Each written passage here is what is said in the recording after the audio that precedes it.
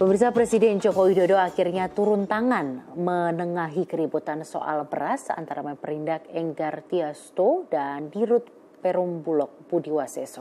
Menurut Menko Perekonomian Darmin Nasution, ketegangan antara Buas dan Enggar karena kesalahpahaman akibat data surplus beras dari Kementerian Pertanian yang selalu meleset.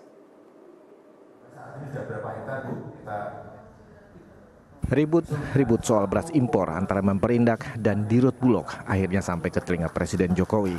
Kamis kemarin, Presiden meminta Menko Perekonomian untuk mendamaikan kedua pejabat tersebut agar kegaduhan soal beras ini selesai. Enggak, entar lagi mau entar lagi mau diundang oleh men, men koordinator ya, hmm. Menko Ekonomi untuk duduk sama-sama ya jangan nggak boleh begitu ya. Hmm. Semuanya kan harus terkoordinasi dengan baik. Gitu. Ini masalahnya ya. di mana sih Pak?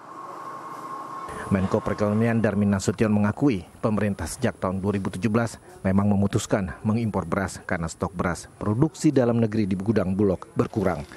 Impor ini terpaksa dilakukan karena data Kementerian Pertanian yang menyebutkan surplus produksi beras ternyata meleset.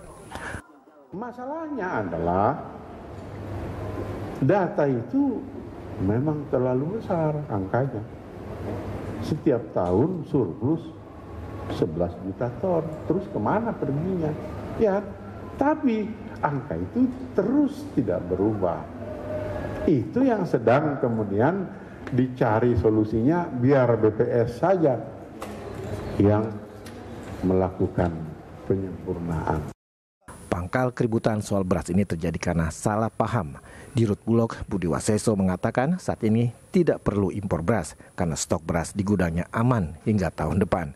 Sebaliknya Menperindak Enggar Tiasto mengatakan impor beras terus dilakukan sesuai dengan keputusan rakor. Dan kemarin Budi Waseso semakin memuncak ketika Enggar Tiasto mengatakan soal penuhnya gudang Bulog bukanlah urusan kementeriannya. Tim Liputan Indosiar.